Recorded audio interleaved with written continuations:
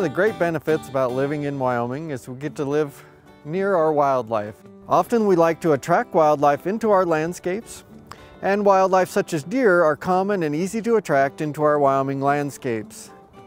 Some important things that we need to consider when attracting deer into our landscape is their need, and depending on the time and season, that need can change. In the wintertime, often deer are looking for uh, nutritious plants that are still palatable. In the summertime, they're chasing that green grass and uh, fresh green flowers and forbs. So it's a consideration in terms of the plants you use and the need and the season for the deer. So it's important to consider the types of plant material you use in your landscape.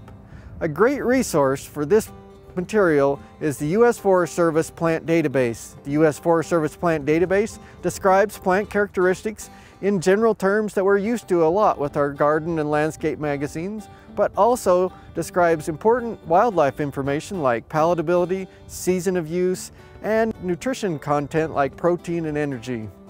With the University of Wyoming Extension, this is Bridger Fates and you're watching From the Ground Up.